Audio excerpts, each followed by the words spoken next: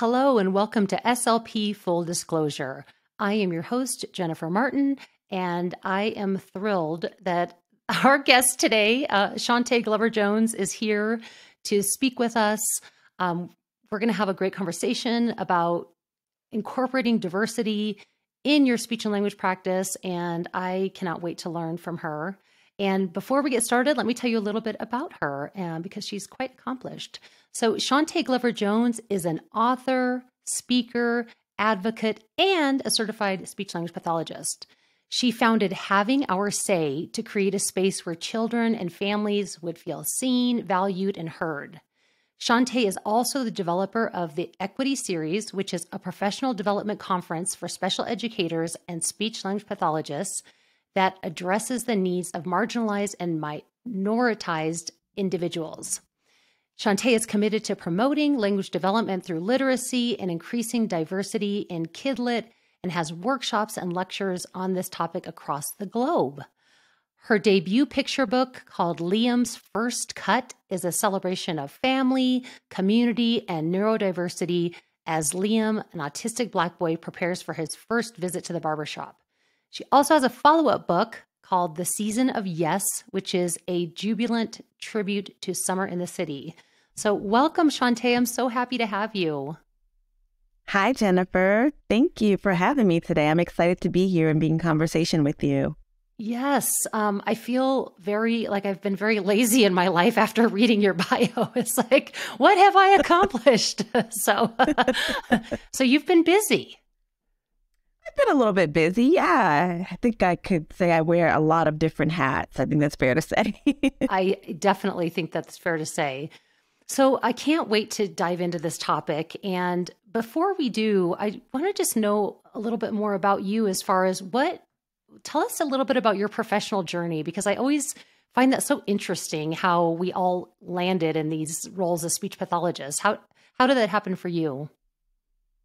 Um, for me, it started off kind of um, by accident, I guess you could say. I was thinking that I was going to major in physical therapy or sports medicine. And then I happened to talk to someone who was a speech language pathologist that told me about the field.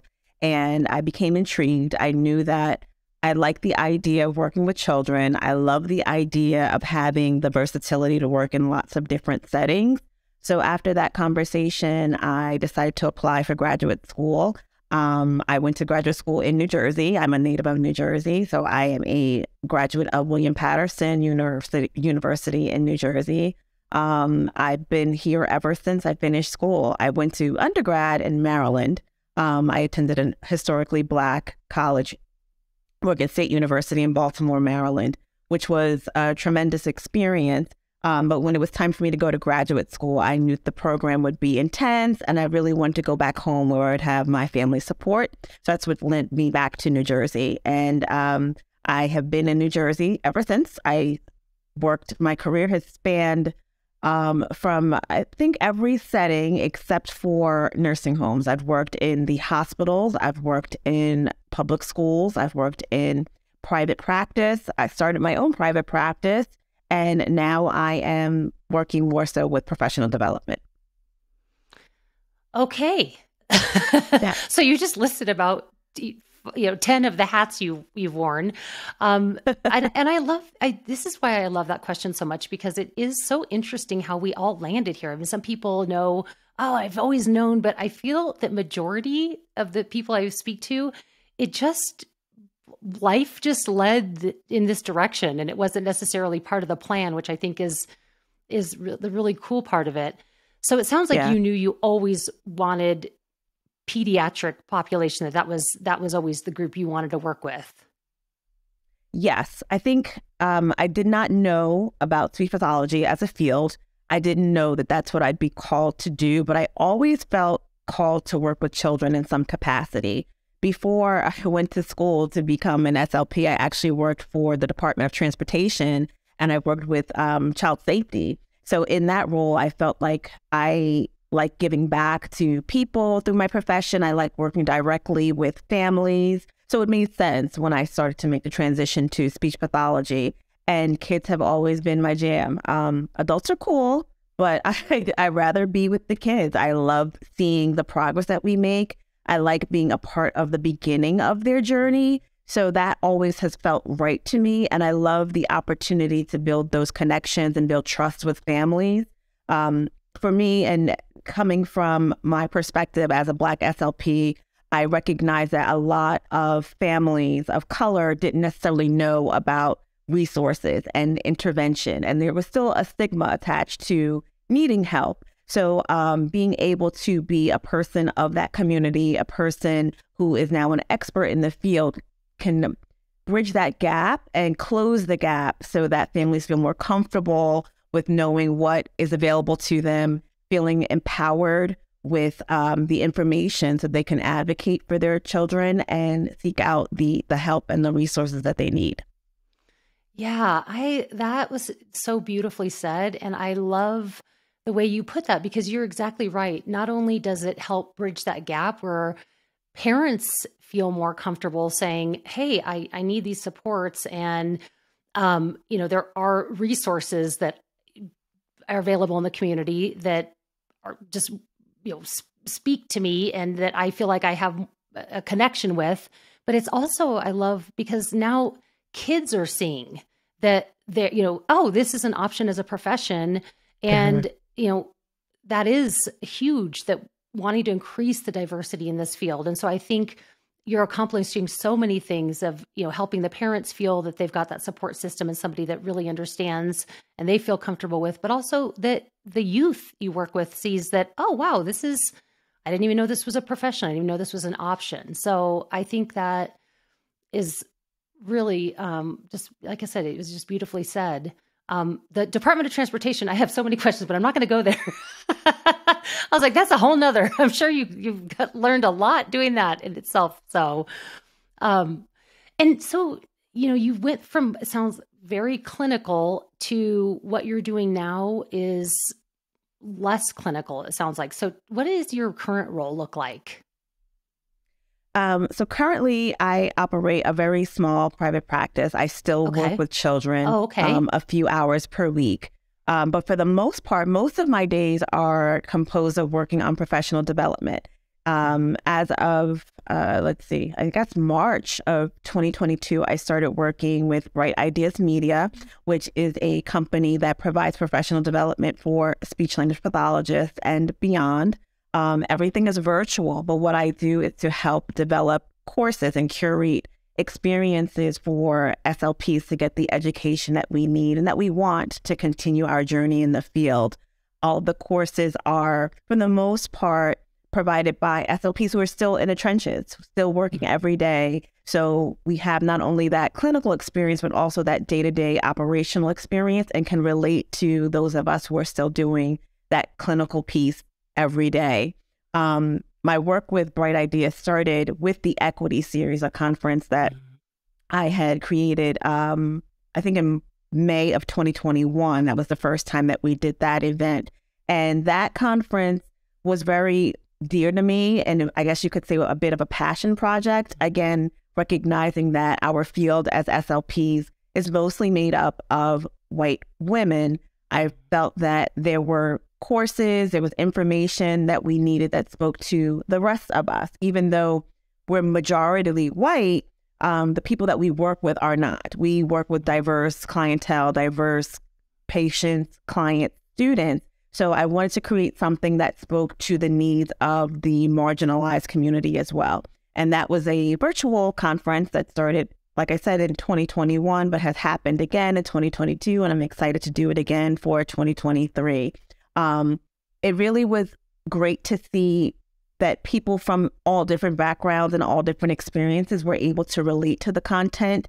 And the courses don't only focus on um, Black and Brown students, it also focuses on individuals who are part of the LGBTQ community, autistic clients, all of those um, clients and family members who don't fit into the, the typical box, but still have very unique needs that we need to be aware of as we continue to treat them and work with them.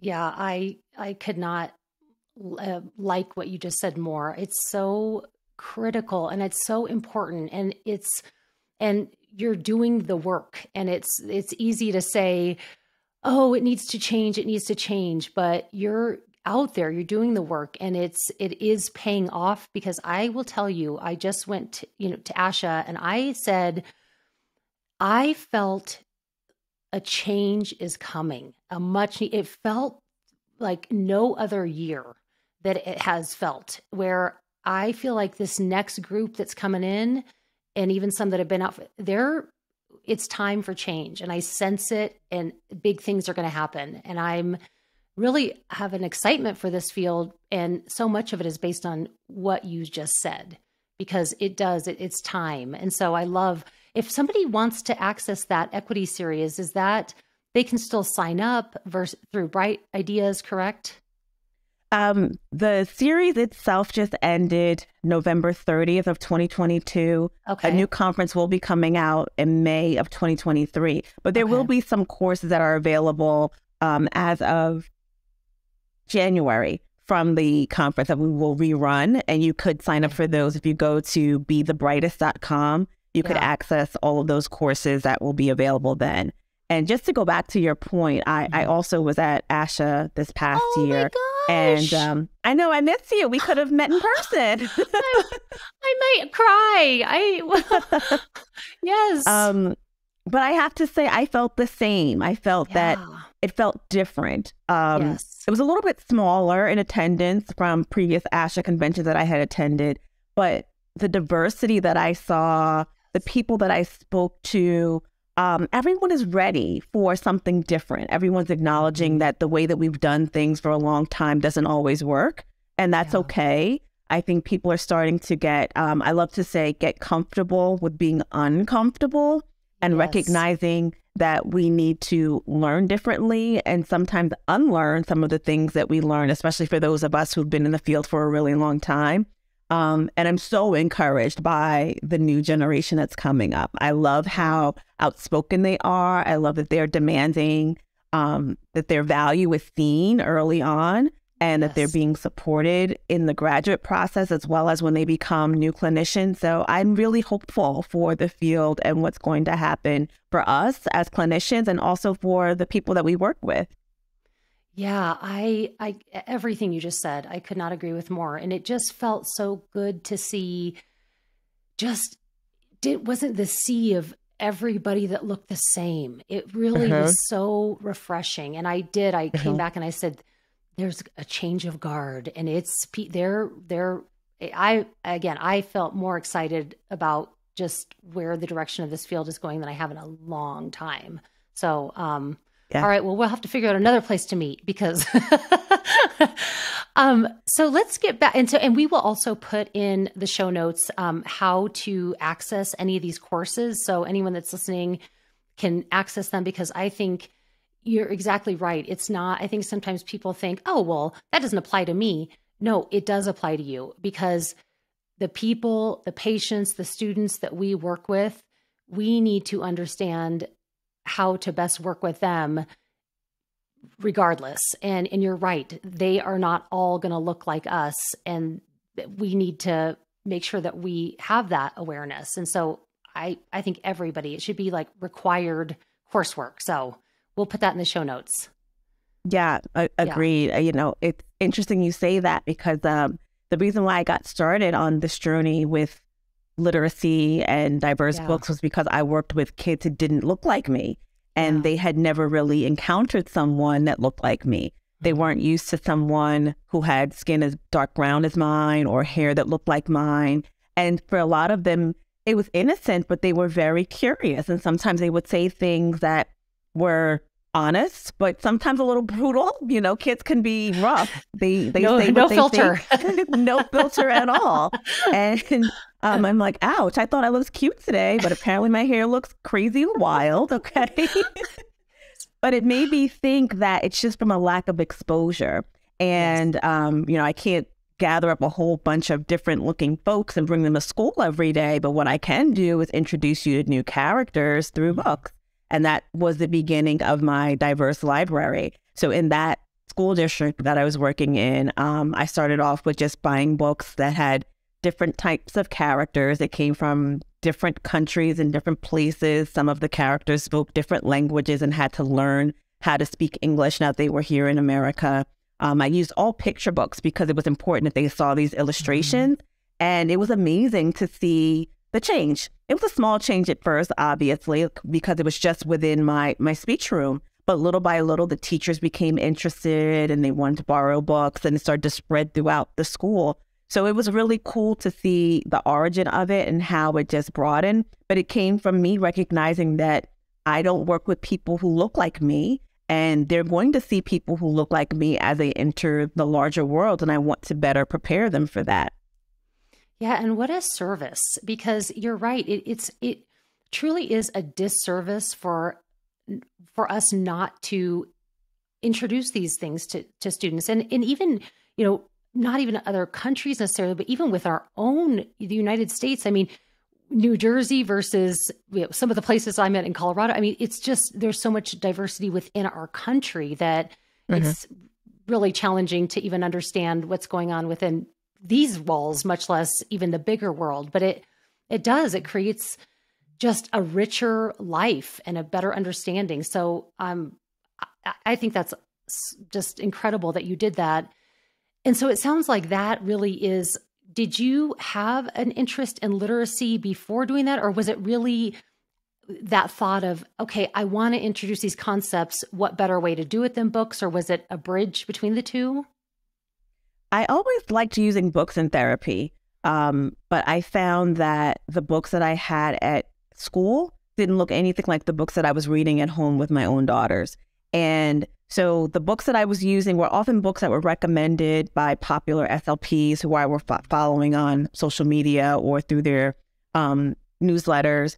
And um, I found myself wanting to do a little bit more with it. So I started doing a little bit more research on literacy based ther- therapy and recognizing like what I was doing was an evidence based practice, but there was so much more that I could do.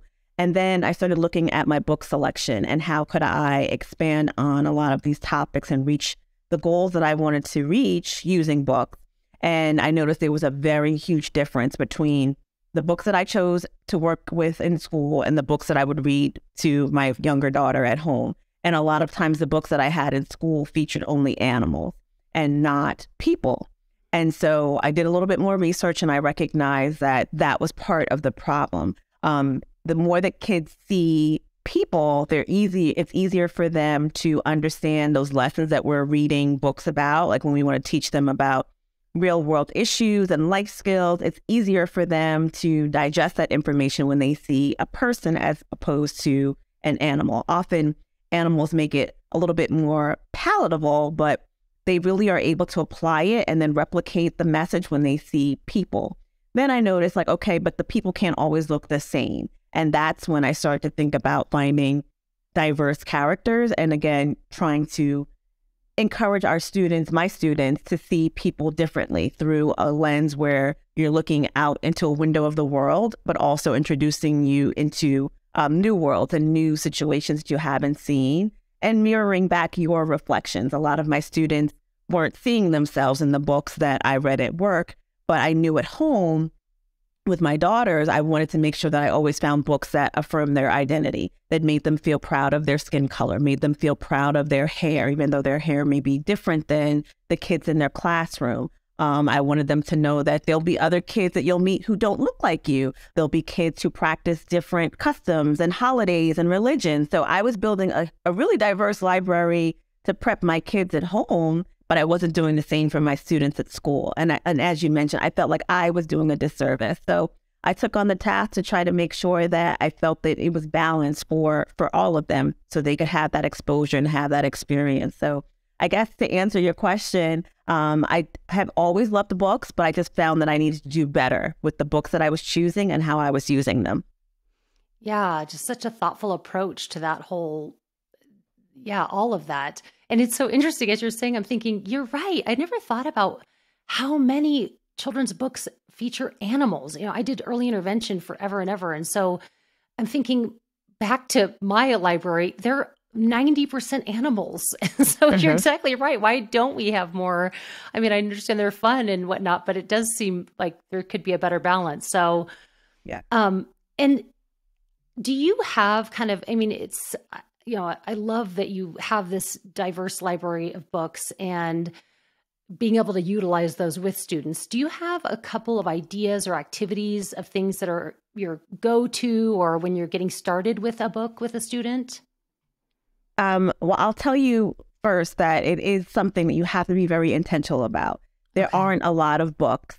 When you go first go out looking at your bookstore, if you go online, the books that are going to be mar- marketed to you first and foremost are not going to feature diverse characters. Um, when when I started doing research, I recognized that the majority of books, I think, as of 2021, I think it might be maybe like 70% of books, children's books, feature white characters. And then after that, the next highest group are animals.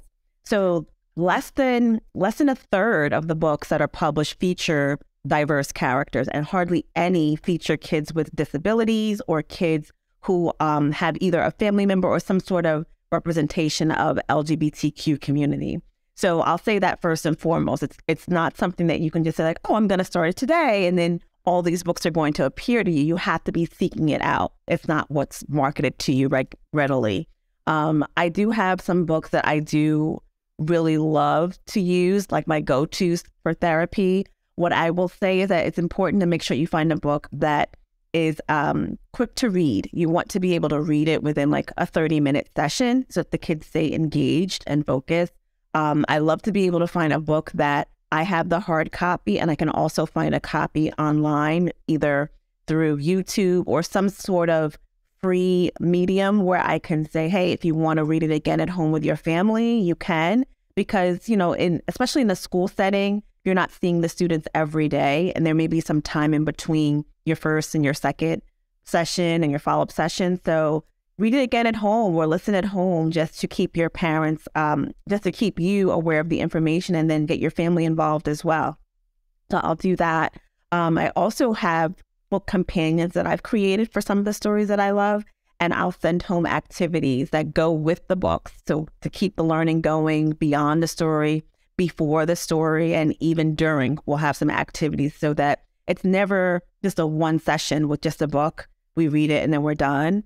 It could even go for a full month when I'm doing a full unit on a book. We could go for weeks because I really want to delve into the book, make sure that one, we're targeting all of your goals that are in your IEP, but also making sure that you understand the concepts, the vocabulary, and the lessons that are meant to be learned by this particular book.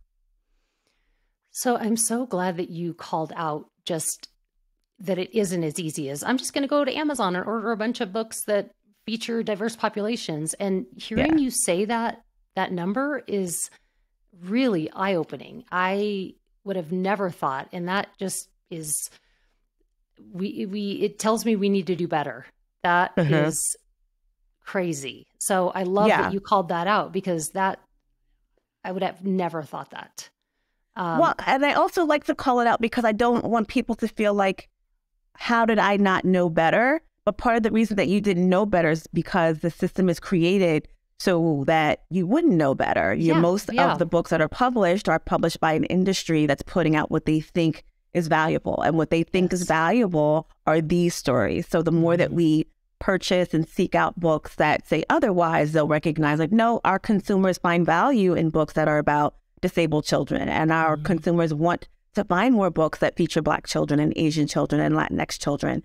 So we have to change the system, but it's not our fault that we're buying the other books. That's what's marketed to us, that's what's produced more readily.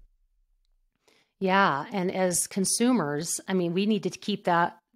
That is important to remember that what you're buying and where you're spending your money and resources is what's speaking to these that that oh is supply and demand. So, I mean, that is mm-hmm. something for us to be mindful of is, you know, p- perhaps even, you know, what can we do to help the companies producing this understand that there is a bigger need and desire mm-hmm. for different. So, I, I I'm so glad you said that because I'm sure most people don't know that. And it's that's that's we need to do better. We'll be right back to our interview. We just want to take a brief moment to shout out the company that makes this show possible, Med Travelers. If you are a therapist interested in traveling, visit medtravelers.com to explore the amazing benefits that Med Travelers has to offer. Featuring short and long term contract opportunities at leading facilities across the country with higher earning potential, W 2 employee status, and a flexible schedule, Med Travelers is your advocate for career success. Visit medtravelers.com to begin your travel adventure today. And now back to the show.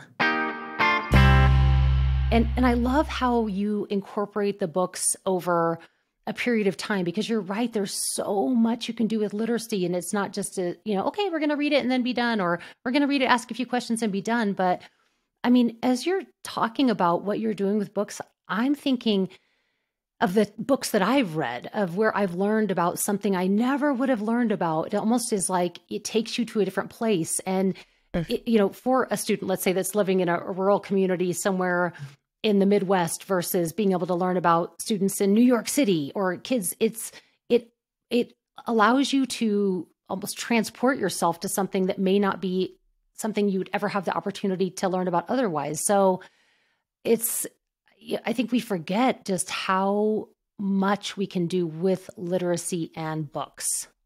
Yeah, they're truly transformative and they can yeah. take you to a world that you may otherwise never visit, but now you know that it does exist and you can yeah. see that people who may not live where you live, may not look like you look, may speak other languages, but they also have some similar experiences to you in another part of the country or another part of the world.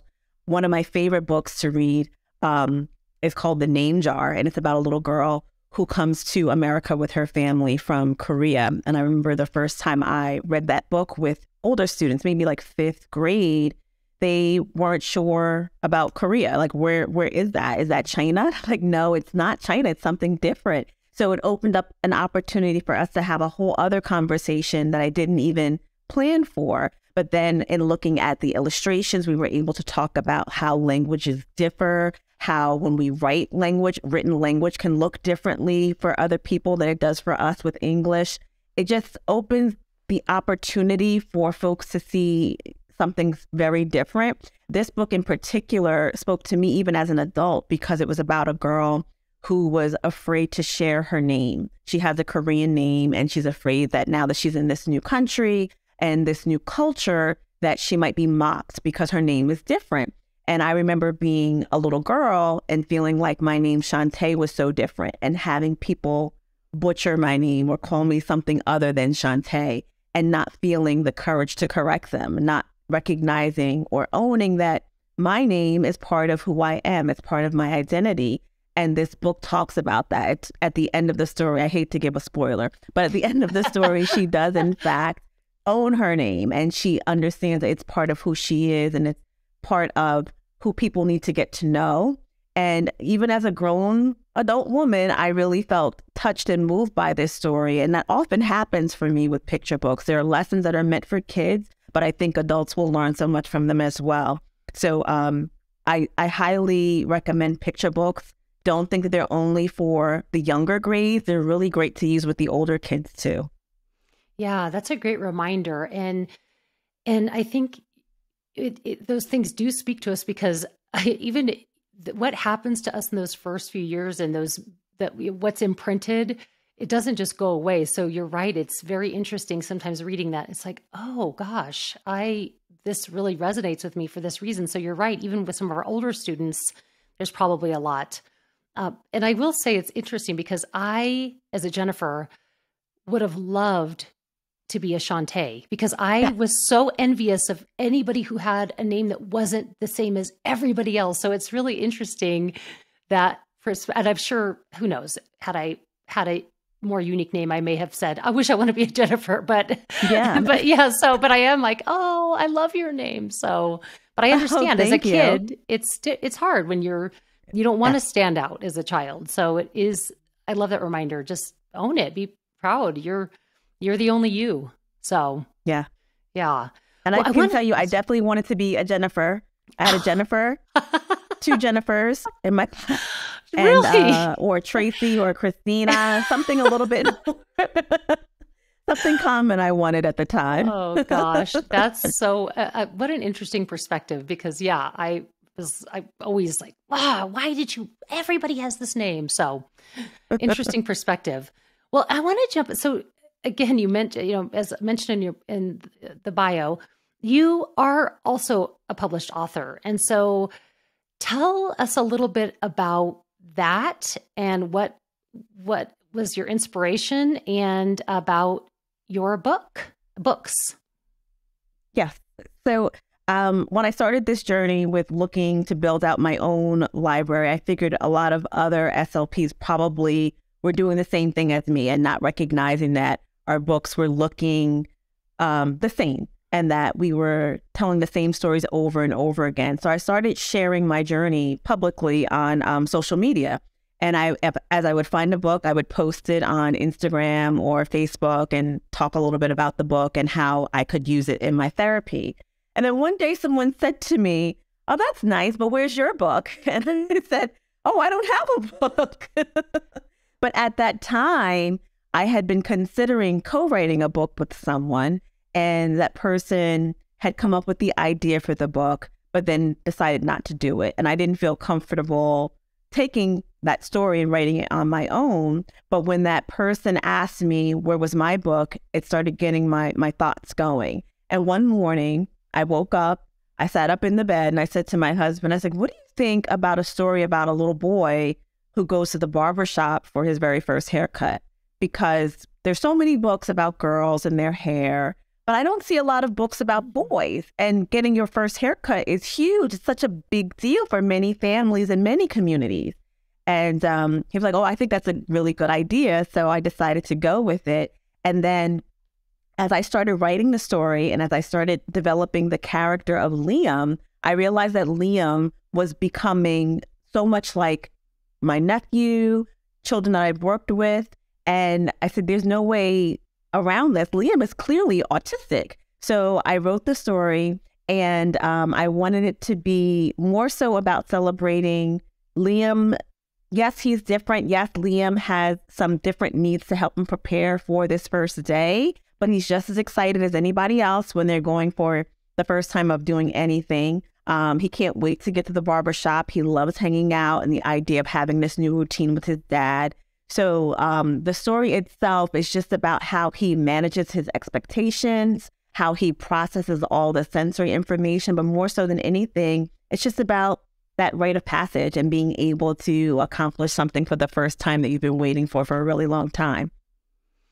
I think that is so cool that it's like, well, why? I, and I love that someone called you out on that and kind of spurred yeah. you to, you know, because that is sometimes like, okay, so yeah. was there was there like a fear or a hesitation or did you just feel like I feel called to do this. I need to do this?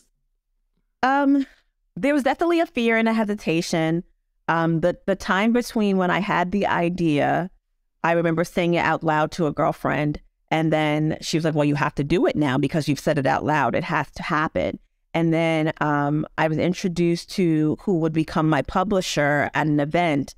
And when I pitched the idea for the book to the publisher, she fell in love with it right away. So that really confirmed for me that this is something that I need to do.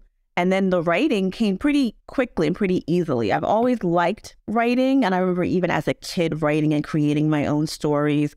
In therapy, I'll often have kids write an alternate ending to the story to work on their language mm-hmm. skills. So um, it, that part came naturally to me. The next fear, the next biggest hurdle was when the book was done and then it was time for it to be actually published and released to the public because now I had to share my little private baby with the world. And now I was open to the responses and to the criticism. And what's really interesting is that when I when I wrote the book, I wrote the book and it's written under Taye Jones, which is yeah. a nickname for Shontaye and Jones, my my husband's last name. Um, I didn't want to write it under Shontaye Glover, which is what most people know me as professionally, because in my brain, for some reason, there were going to be two separate things, as if I could separate SLP Shontaye and author Taye. But obviously, the two came together.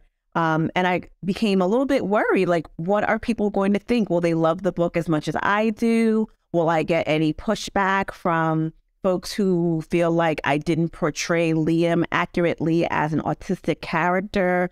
Um, there was a lot of that. And I can say that the biggest reward that I've received after putting this book out has been hearing from kids that kids are able to say, like, I see myself in Liam. Um, Liam looks like me. Liam looks like me and my dad. Or even kids who had never gone to a real barber shop, but now wanting to go to the barber shop with their dad because of reading the book. Um, they had gotten haircuts at home or had gone to more of like a kiddie salon. Um, so that's been super rewarding.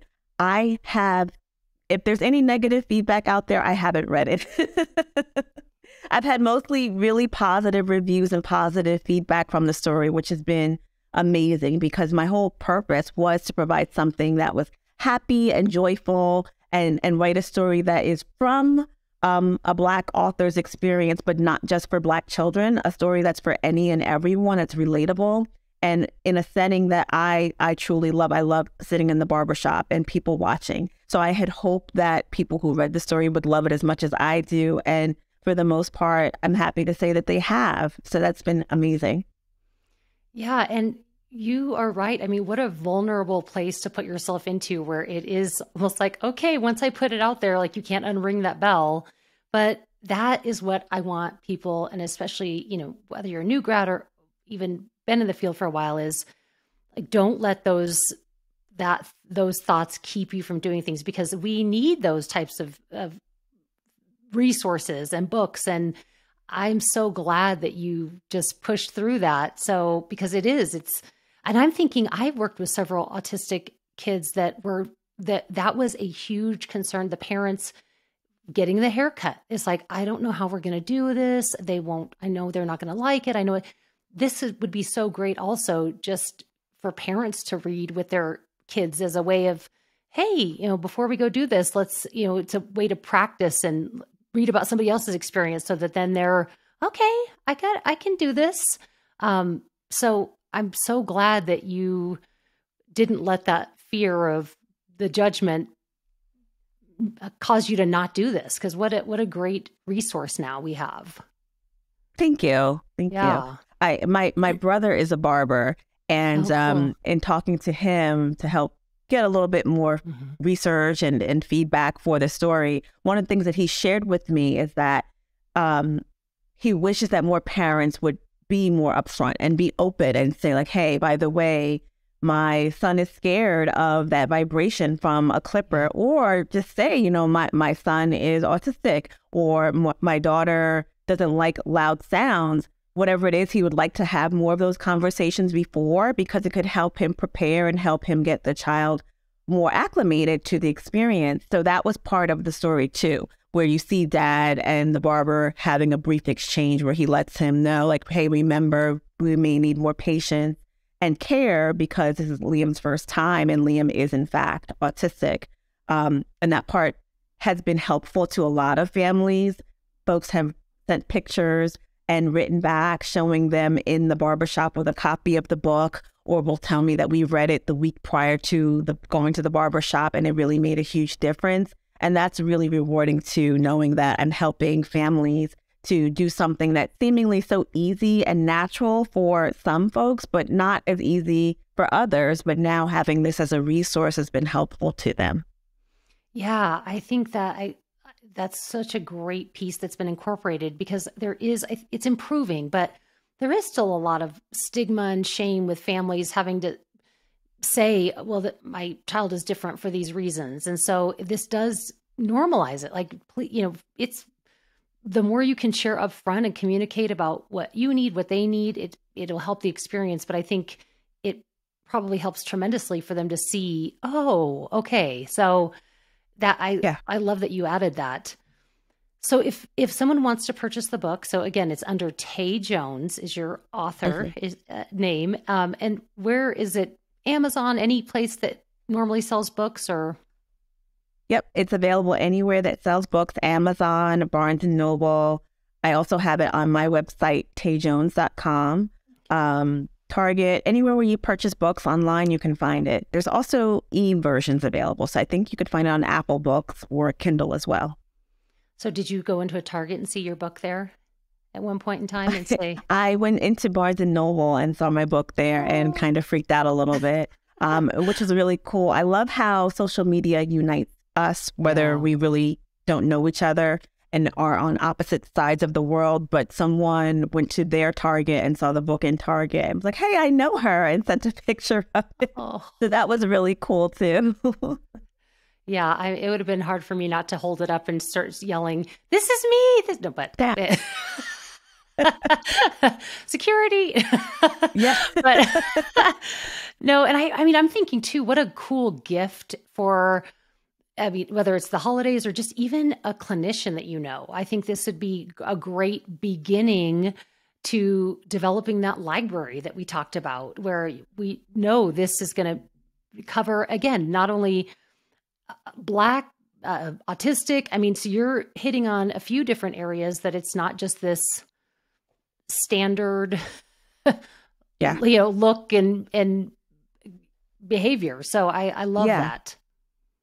I also wanted to write a book that um, showed a, a black family all together, mm-hmm. and I also wanted it to just be a feel good, happy book about black kids doing regular everyday things and this little boy is the star of the story mm-hmm. oftentimes books about um, the black experience might focus on oppression or struggle or our dark past in america.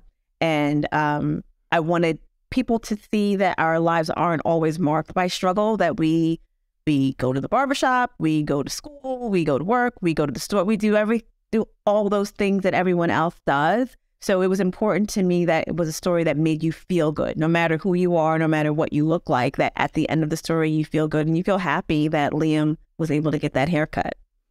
Yeah. And that's such a great point. I mean, you're, I'm so glad you're saying these things aloud because they really are so important and things that, you know, I'm even as you said that, I'm thinking, and again, this just goes to show, you know, what the, the, the, my experience, you know, as a white woman, how different it is, and that there. Imagine as a, a child being you, so many of the books you're reading are about all the bad things that happen. I mean that that. So I'm I'm so glad you're saying those things because the more I'm thinking about it, it's like, gosh, you're exactly right. That's that would that would get to you where you're just thinking there's more to my life than than this. Yeah. So um so I think those are important things too, as we're thinking about the students and populations we're working with, that making sure that you are incorporating not only, yeah, I think it's really important to under have a good awareness and understanding about the terrible things that did happen because we need to understand that so that it never happens and we can be better.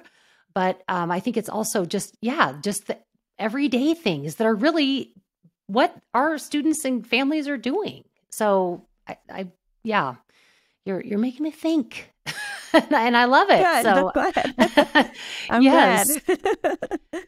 and you know, as we so you've got this book, um, and again, it's so um, admirable because it's you know even myself I've thought, oh, we need to do this better. This needs, but it's easy to say it and think it. You're really putting things into action, and that is not something that everybody does. So um, I just I think that's really admirable. But Thank as we you. think too about just even, um, I'm sure this is a loaded question, in that you know we're thinking about just even the lack of diverse materials in general and resources for SLPs to use with their student populations. Um, you know, what are your thoughts on that? And do you have any recommendations for resources that that can be used as well? I think I, I feel like I'm starting to see a shift in that area as well, where we're seeing more companies produce materials that are more diverse, mm-hmm. where they're more representative of your caseload, or even if it's not your caseload, representative representative of the world in general. So um, I, I won't name a any companies in particular, but I remember having cards from a particular company that always looked the same. And then when they did start to introduce characters of color, they were associated with things that were negative. So yes. I have refrained from using those products. Um, Jenny Bjorem, I this is not a paid sponsorship or ad or yeah. whatever, but I do appreciate that she has very inclusive yes. cards, picture cards that can focus on a lot of different aspects of your your therapy and your practice.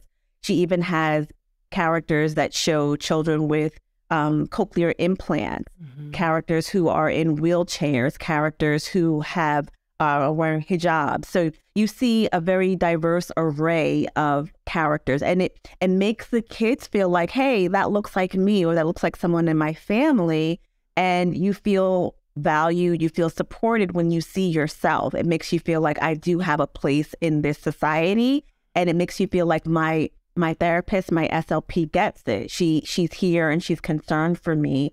Um, and not to say that you aren't if you're not using diverse materials, but it sends a clearer message to your students when they walk in the room and they see decor that looks like them and looks like their friends and looks like their family and looks like people that they don't maybe know personally but want to get to know. They feel like this is a safe space. This is a space where I can learn and I can grow and I can build a connection with this person. So um, I think that it goes well beyond books. I think that we do have a duty to make sure that we're we're decorating yeah. with diverse materials, that we're trying to utilize um, cards, books, whatever you can that shows um, more inclusivity as opposed to one type of character all the time. We shouldn't be telling one type of story all the time. Um, so even movies, I'll leave it, you know, even when we're showing our movies, thinking about what types of movies are you showing um, you know what what clips are you playing for your for your students making sure that there's diversity is there there as well yes absolutely and I also know the cards, and but uh, but so you're right. And another um, one is um, BVG SLP. Uh, uh-huh, Belinda Givens, uh-huh. she does such great and incorporates yeah. a lot of diversity in her materials and and it is it's a nice to see more of that where it shouldn't you know we want it to get to a place where like you said it's not hard and to find these and seek them out and you shouldn't have to work so hard to mm-hmm. be able to increase what resources you have and have a more diverse library of, of books and activities and you know something you said too that is how often do we, especially with our students, if you don't have rapport, if they don't feel like they can trust you, you're not going to see. I mean, it's like any of us. If we don't feel like I don't feel seen, I don't feel heard, I don't feel like I matter, then it really messes with that ability to build that rapport. And then you're not going to, you know, you don't have as much skin in the game. It's like, whatever, you know. And so you're right. When we're not showing up and showing them, hey, you matter to me. You are seen, you are heard, and this is how I'm going to do that. I mean, I think uh-huh. we would see a big shift in just motivation and and and again, they it just we want to be seen. We want to know we matter. And yeah, yeah. that's critical. Yep, absolutely. So, First and foremost, you know, even mm-hmm with the littlest of students. They want to know that you are there for them and that you care and that you mm-hmm. see them, that you really yeah. see who they are. You don't just see their their disability, you don't just see their their deficits, that you see them as a mm-hmm. person and that you you respect that and you yeah. want to make sure that they feel that they are in a safe space like I said. Yeah. And sometimes it's just, you know, that's what it's like. Sometimes it just takes that one adult in their life that can really shift that. And so, mm-hmm. you know, we, that's a big responsibility that we have to remember that. I remember I worked at a, a, a schools here um, in Colorado, and I've always done Title One, low income. I, I speak Spanish. So I've always worked with Spanish speaking students, and that's just my love. And there'd be times where I'd be working with eight kids at one time and they all have different needs. And I'd think, what am I doing? I'm not accomplishing anything. And I finally had to come to the realization no, I'm helping them feel seen and that they matter. Even if we're not working on WH questions, you know, that sometimes can go just as far. So we have to remember that's a yeah, that's a responsibility that we have as yeah as professionals. So. I, I love that you just said that because I think sometimes we do get caught up in in just the data or feeling like Am I am I following my lesson plan or my therapy plan Yeah. for today? And you start to feel like, what am I doing here? But Mhm. connection is a huge piece. Yes. And you might be the only positive part of that child's day. And Yeah. that's something it's a huge responsibility, but that's something to to really be proud of and and know that that matters. That makes a big difference in their life. So um I'm hopeful that, you know, there'll be a lot of kids that later on they'll remember Miss Shontaye was really cool and she really cared about me. Yeah. No, and you're right. It's, I mean, that is sometimes they say like the students that are just kind of on a, a path or, you know, just could easily fall through the cracks. It just takes one person to show. And so Mhm. that- it's like, always remember that it's something, you might be that person. You don't know. So, Yeah. Um, okay. So when, uh, when switching gears a little bit, so back to the bright ideas, um, and it sounds like, you know, as far as some of the courses, so you do some courses on literacy, on Okay. the equity series. Um, what else? I mean, and are there specific courses that if people, we got the equity series, which I think should be like mandatory, you got, everybody should do that. Um, what are the other courses that you would recommend if somebody wants to learn more about literacy or anything else we've talked about? Um, in general, we have courses on just about anything you might feel like you need to to brush up on. Um, we just did a speech sound disorder series that focused on um, not just apraxia, but just speech sound disorders in general. So if you feel like you are missing anything from assessment to intervention, that series is currently running and is available to to for you to register. Um, we've had courses and we'll have more courses coming up on trauma informed care. I'm super excited about this one happening in January about trauma informed care, understanding the principles of trauma informed care and the impact that it has, not just on um, cognitive abilities, but also on language and um, communication, and then how it also impacts our students socially. So we also have another speaker that will be talking about the SLP's role in the school to prison pipeline, which Oh, should wow. be amazing. I'm really excited about that one as well. Then um, we have some stuff coming up. Part of what I'm doing with Bright is making sure that we have content like the equity series all the time. Yes. So um, we have those courses that are happening. Then we'll have some supervision courses because you know we we need those courses. that are required for your ASHA certification. But the supervision courses are also going to um, keep into play and target how your own experiences may impact you as a supervisor. So, um, being aware of your own biases and how that could impact you, whether you're supervising a clinical fellow or a, a employee. Um, so that's a different perspective, looking at supervision from a different lens. That's coming up. Um, we have we'll be doing some more on AAC coming up soon, and looking at AAC from um, a bilingual perspective as well. Oh. So I haven't seen a lot on that, and I was really interested to make sure that that's incorporated, that's offered for individuals who work with bilingual students, specifically Spanish speaking students who need AAC. So that will be coming up in the early spring. Um, the equity series comes back in May. We have the SLP summit, which happens twice a year. The next one is happening in January, and that conference is virtual and it is free to register. I know. So you can earn you can earn up to eight hours of CEUs by attending that course. Um, the only fee is if you are part of the ASHA registry and you want to have your participation submitted, but otherwise it's free. And who doesn't love free, right? And Yeah. um, this one that's coming up will have courses for pediatrics as well as adult. Um, so really cool stuff happening with that one too. I think we have um, Jessie Ginsburg speaking, so Oh, she'll be yeah, doing stuff yeah. on um, autism and strategies for sensory Mhm. integration and sensory processing with your students. Um, we'll have some stuff on literacy and reading, not with me, but another speaker.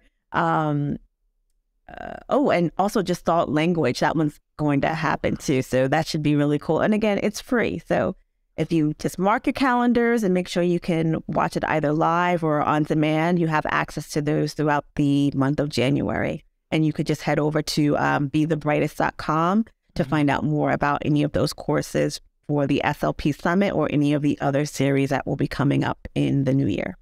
Oh my gosh, I love so much. I the school to prison pipeline. I think that is. I'm. I mean, just so many. and Even the supervision course. It's like you're taking the things that we need to know about and just aren't covered and aren't discussed. And the that right there, just some of the things you mentioned. You know, the bilingualism at AAC. That the these are the things that I'm just so glad that you're in this role because you're taking such critical information and helping it now be that the masses can access it and learn from it because it really, you know, when we know better, we do better. And it's like now once you know some of these things, you've got to we've got to do better. And so Yeah. um I am definitely going to be um signing up for that one. So and again, we'll put all of that in the show notes so people can access it and yeah, that summit is it I can't I still can't believe it's free. It's just like how? But um okay, so what is next for you professionally? What other what's your next hat? Uh, um, my next hat, I guess my next project is still going to be with my author role. So I'm working on getting my next book out, which is due to be released in the spring. Um, it's called The Season of Yes, and that one is based on my love for summer and spending summers in the city. Uh, so that's what I'm working on now, and then continuing to curate these professional development experiences for SLPs and I am taking on one additional role. I am working with Rutgers University in Newark, New Jersey as a clinical educator as well. Yay. Oh my gosh, that's amazing. I Yeah.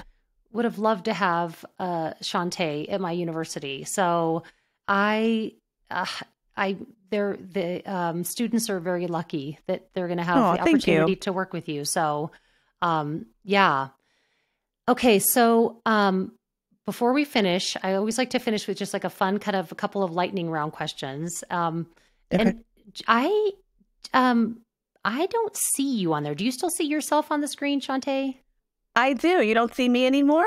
No, I, but that Oh, doesn't. that- no. Oh, you do? Okay, yeah. It's like a little S appeared, and you went away. So I don't know. Oh. Okay, so I just wanted to make Okay. sure, but if- I, don't, I have no idea what. All of a sudden, it was just like you're gone, and there's there's an S. So Yeah. I don't know. Okay, so a couple of just like fun lightning round questions as we wrap up. Um, okay, so the, I always have to do a would you rather question. So, and I'll be interested to know about this one because you do live in a a very urban area. Um, but I don't know if you have a car living in the urban area. But okay, would you rather never be stuck in traffic again or never get another cold? Uh, never be stuck in traffic again. Me, that's I was like, yes, I'll take all the colds. like I Yeah. can, I can medicate. So- Yes. okay. Um. Okay. So next one, if you could travel anywhere in the world over winter break, this coming winter break, with the snap of your fingers, where would it be? Ooh. Um, geez. I think Greece. I've been wanting Oh. to visit Greece. They have what seems to be lovely beaches. I just want to be somewhere warm and beautiful over winter break and Oh, enjoy the ocean. That sounds amazing. Yes, I. Maybe that's where we'll meet up. Yeah, do that. take take me with you. okay. Um, and then the last one. Okay, so what one piece of advice would you give yourself on the day you graduated with your master's? Oh, this is a good one. I actually um wrote a post about this, writing to my younger version of me. Mhm. And I would tell her it gets better. I would tell Mm. her that um, everything that you felt, everything that you experienced was for a purpose, and that it becomes amazing and you're going to exceed your own expectations. That's what I would tell her. I would say, like, yeah, it, it gets really, really good. Oh, it's give me the chills. I love that. um, Thank you. that's a, that's a beautiful piece of advice. So, Thank you. Well, I have loved every second with you. I've learned so much and Yeah. I really am excited to check out these courses and are, am going to um, look into that today. And I encourage everybody else to as well. Also, um, Liam's First Cut, which I think is just, again, should be part of everybody's library. And um, thank you for just all that you've contributed to this field. You've really made a positive impact. And I'm just really, I think we we need more Shontaye Glover Jones is in this field. So if you could clone yourself, that'd be great. But um, so thank you for all that you've done, and thank you for spending some time with us today. Thank you. It's been a pleasure having this conversation with you, and I really enjoyed the conversation. Thank you so much. And that wraps up this episode. Thank you for tuning into SLP Full Disclosure. For more information about this episode, check out the show notes on our website at medtravelers.com slash SLP full disclosure. And don't forget to leave us a review and subscribe so you never miss a guest. Are you interested in becoming a travel SLP? Visit medtravelers.com to learn more and explore the exciting opportunities we offer at top level facilities across the country. Also, a special thanks to Jonathan Carey for producing this episode and Aiden Dykes for the music and editing. And as always, this episode was powered by Med Travelers. See you next time.